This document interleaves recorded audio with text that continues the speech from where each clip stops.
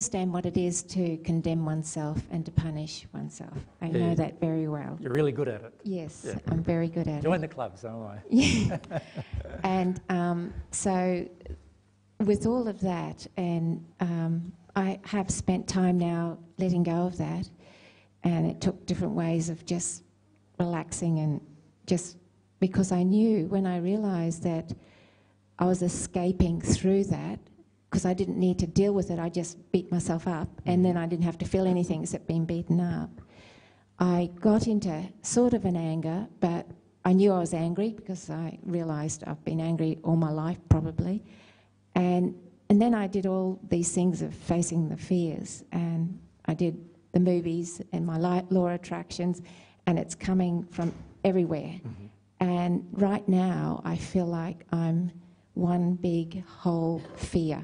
And it's like I realise in this state of fear, there's a couple of things going on that um, I'm so afraid of everything. My whole life is a reaction through all these fears um, that being so scared of everything, I'm also beginning not to be scared, if you know what I mean. You're desensitising yourself to your own fear. Oh, is that what I'm doing? Because I was wondering, because the processing hasn't started yet. I've just got to the huge fear state. And um, I was wondering how to get down further onto that. But now I see the fears, because before it was totally head in the sand thing. Um, now, but I'm aware now that I'm afraid this, this, this. And the list gets bigger and longer and longer and longer. And each time I write more about it, it gets more, you know, involved. Yeah. So, um, yes, it's like being afraid of my fears almost. It's like, you know, I can't, I, I probably can go further with the fears. But I'm wondering, sometimes I'm so overwhelmed with it all, you know, like, oh, where will I go with this? Um, and I understood that one way that it, it's the soul expanding, but at the same time, it's like, it's so huge that I can't move. Is that now, how do I, you know, go from there to the grief? Because it's just, gets bigger and bigger and, and I'm so scared that it's going to explode and I'm just going to go splattering everywhere, you know. Yeah, let I- it explode. Can I just ask how many other sort of you feel exactly the same way as just what got described? Yeah, quite a few. So you've got quite a few friends, right? Do you want to answer that one, babe? Because it's sort of the line of what you've been dealing with. Yeah. Yeah, I have. Yeah. Yeah. Because Mary's been in a very similar state, um, feeling exactly the same kind of feelings. Feeling like the fear of everything is just overwhelming. And and in that place, I just I lived in that place, It- and that's that's what I call living in your fear. I'm afraid of everything. I can tell you what I'm afraid of. I'm afraid of this, who we are, all of you. We're all gonna. I'm gonna be attacked. It's all gonna, you know. I'm going to die. Will he'll be dead? I'll be alone. Uh, uh, all- of that. So I could tell you all of that for about eight months. Anytime anyone would ask me an emotion, yep, I'm afraid of all these things, but I wasn't processing any of them. In fact, I was living in them and I was letting myself be defined by them. So the first thing I did was realise that that that wasn't helping anything, and actually knowing what I was afraid of wasn't actually helping my soul at all. If I wasn't doing anything with it except saying, "Oh, I can't feel that because."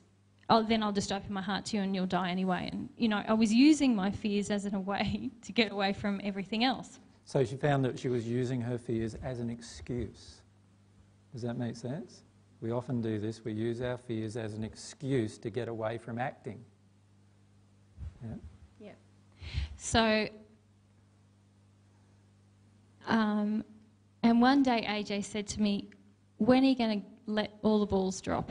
You're just juggling everything, you're keeping everything, you know, just where it is, just so you can just manage everything. When are you just going to let it all drop on the ground? That's why I said just let it explode. Because you, you've got to feel how it feels to I've got all of these fears. I'm absolutely terrified. God, how can I get through this? That I, it really helped um, acknowledging how afraid I was, how alone I felt, and how overwhelmed I felt by it all, actually helped me take a step closer to God and God reliance because I just sat with this is how it is. And it's very hard, uh, like, I, grief overwhelmed me in that place and still does, you know. The fact it, it was a feeling of hopelessness because of all of that. But I, I had to recognize, firstly, that what I was doing, just living in the fear, wasn't helping me.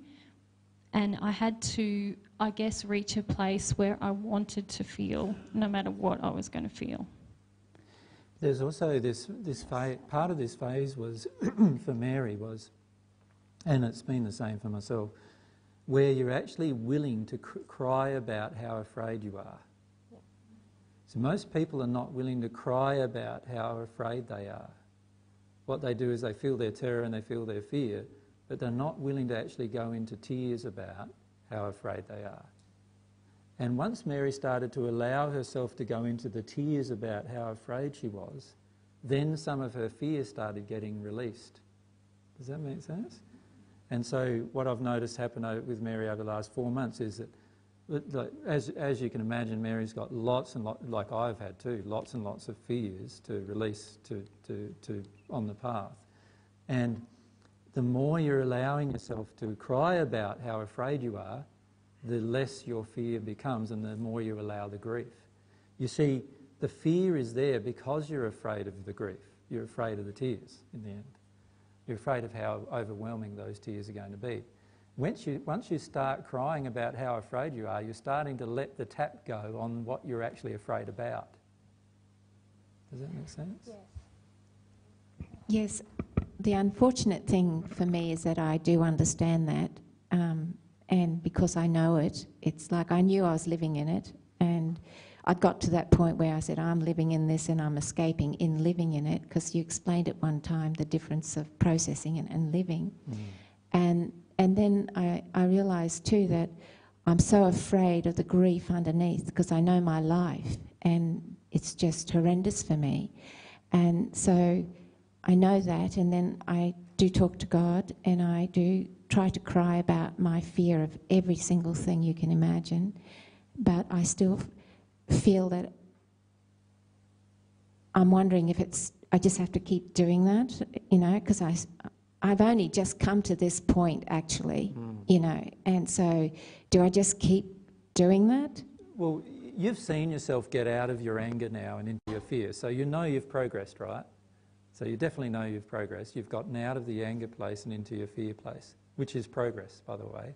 Most people think it's not, but it is, right?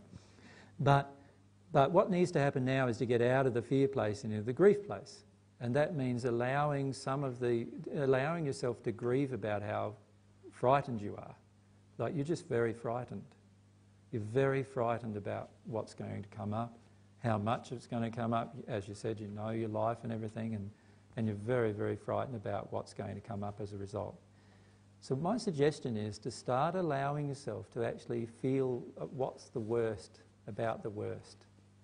Allow yourself to feel what you feel is the worst of all this. Like, what's the worst possible thing that could happen here? And then allow yourself to start crying about what's the worst possible thing that could happen. It doesn't mean to be it's something that will happen, just what you feel will happen, what you imagine will happen. And allow yourself to start connecting to that. So, what, what is it that you imagine will happen here? When you start feeling your grief, what's going to happen? Like, what do you feel? What are you afraid of here? Um, well, I guess when I listen to all the stories that are here, and um, I I feel that yes, I've got that, I've got that, I've, I've got everything here, and um, and there's a whole lot that I don't even know, and and I just think, well, if I can feel the intellectual grief of knowing this, so if I if but, I but what's going to happen when you drop all of this balls? When you just let everything go, when you let every, everything in your life just go, what's going to happen? What are you afraid of, really? I'm not talking about now the individual things. I'm talking about what's going to happen when all of this just comes and hits you, when you explode, as you called it.